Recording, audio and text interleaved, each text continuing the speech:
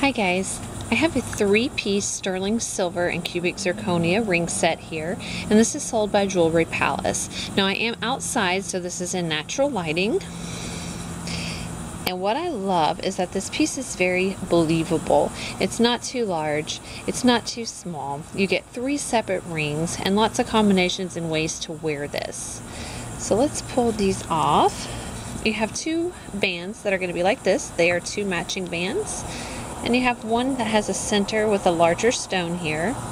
So you can wear them in many combinations. We can wear them here.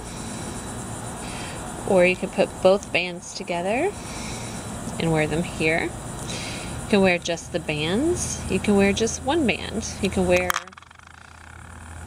one on each finger, like so. You can wear just one band and this one and still wear another one here.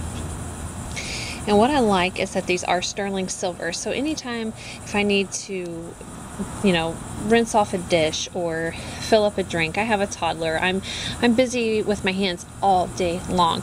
So I hate having to take off jewelry just to be able to do so. And it is sterling silver, so I'm able to actually get this wet but you'll want to use a sterling cloth to clean this with. You don't want your, your sterling to um, start to tarnish.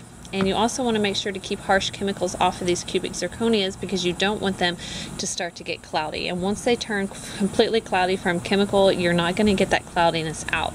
And the way that these came, not only was the silver exceptionally smooth and shiny, the cubic zirconias are also well set and were very sparkly. So you want to make sure you want to maintain and keep this really well. And again, you have the three with endless possibilities and ways to wear this. And I'm super happy with this purchase and I think you'll enjoy these for a long time to come. Thanks guys.